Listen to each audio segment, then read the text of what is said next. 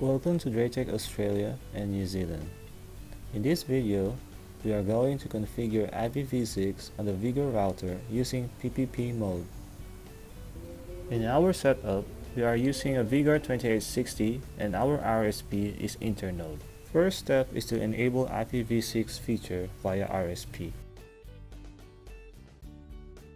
For Internode, we will need to access and log into their website to activate the IPv6 service.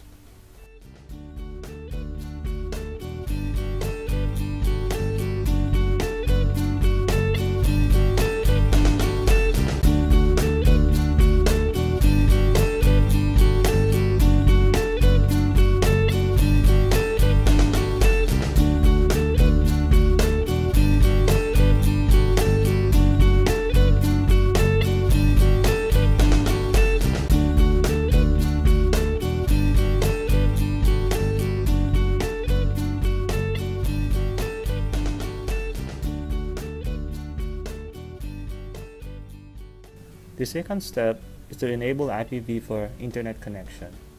So Internode uses PPPoE for authentication.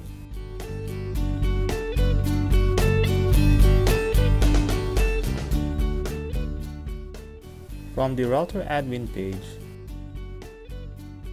go to WAN, Internet Access, and select WAN 1 Details page. Select Enable and make sure that VPI is 8 and VCI is 35. Enter the username and password provided by Internode and then click OK to save your settings.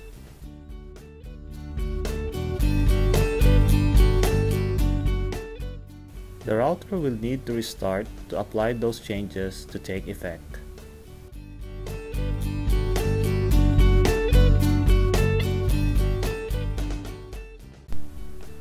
Third step is to verify the IPv4 internet connection.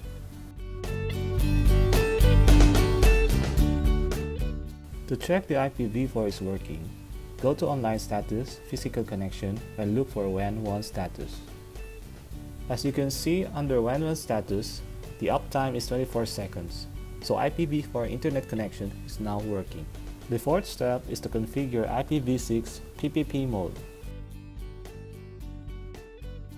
Go to WAN, Internet Access, and select WAN 1 IPv6. Under IPv6, select the connection type as PPP and then click OK to save your settings. The router again needs to restart to apply those changes to take effect.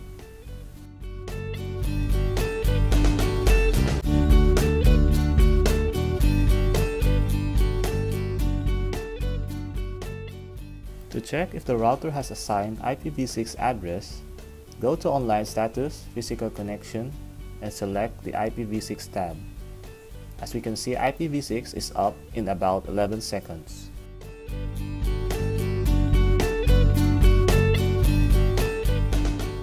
The last step is to test IPv6 connectivity to the internet. To test it, we will go to Diagnostic, Ping Diagnosis, select IPv6, and enter IPv6 address as ipv6.google.com and then click Run to execute the ping. Thank you for watching the video. For more information, please visit our website www.draytek.com.au or you may email us at sales at draytek.com.au.